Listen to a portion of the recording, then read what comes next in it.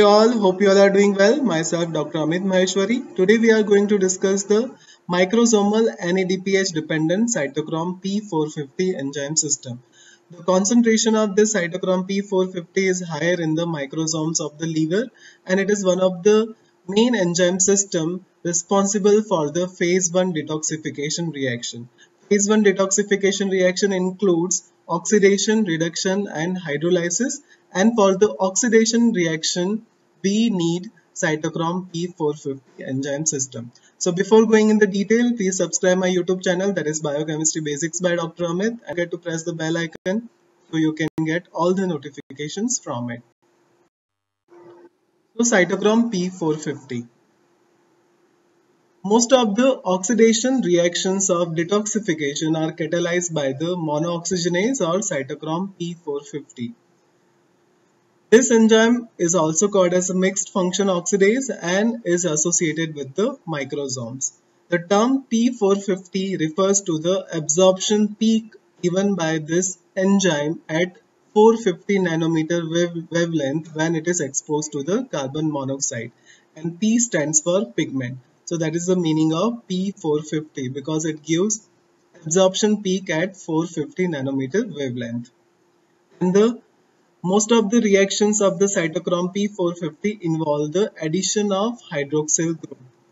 So this is the picture showing the conversion of xenobiotic to the hydroxylated xenobiotic by the microsomal cytochrome P450 enzyme which is a NADPH dependent and this NADPH will be derived from HMP shunt pathway which is hexose monophosphate shunt pathway. So most of the reactions of the cytochrome P450 involve addition of hydroxyl group.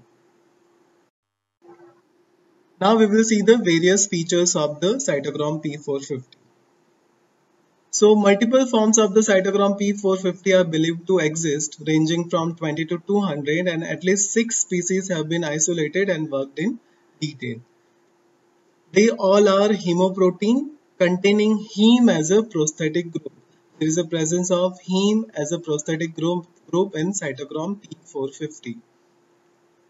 And cytochrome P450 species are found in highest concentration in microsomes of the liver and they are also present in the mitochondria of the adrenal gland. And the mechanism of action of cytochrome P450 is complex and it is NADPH dependent as we have already seen in the previous image. It is NADPH dependent. So this is the picture showing the location of cytochrome P450.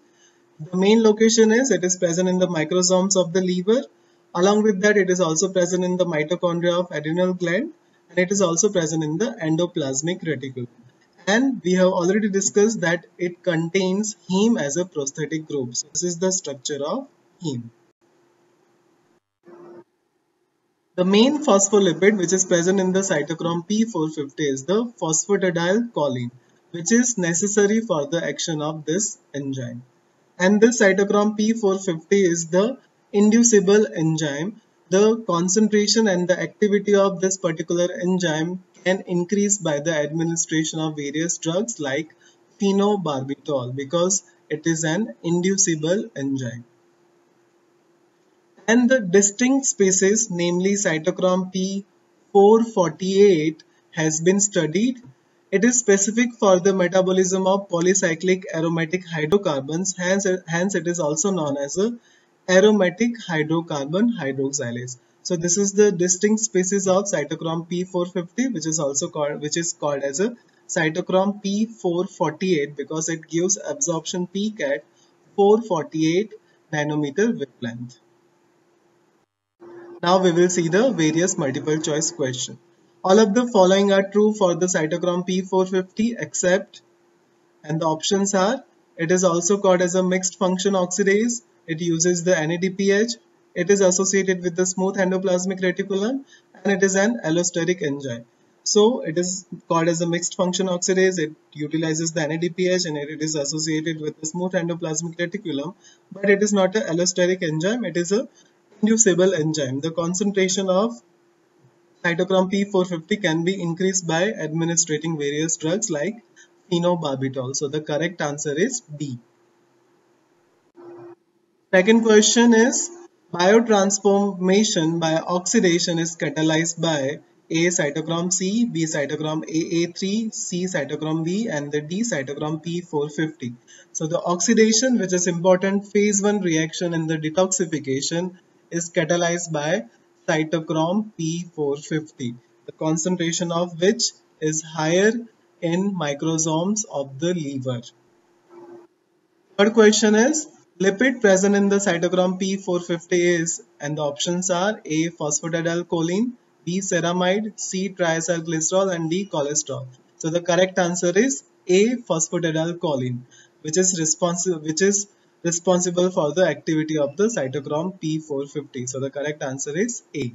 These are the, my references. Thank you for watching. Please like, share and subscribe Biochemistry Basics by Dr. Amit and don't forget to press the bell icon so you can get all the notifications from it. Thank you.